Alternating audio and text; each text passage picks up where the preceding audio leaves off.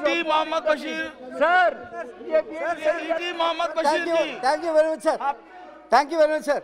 Sir, I oppose the very introduction of this bill- this bill. Sir, this bill is unwanted, it is unconstitutional, and it is violation of Article 25 of the Constitution. Sir, this bill will make far-reaching consequences in this country, sir. This is an attack on the person law and the fundamental right in this country, sir. Government should withdraw this, sir. This, of course, is nothing but to gain. The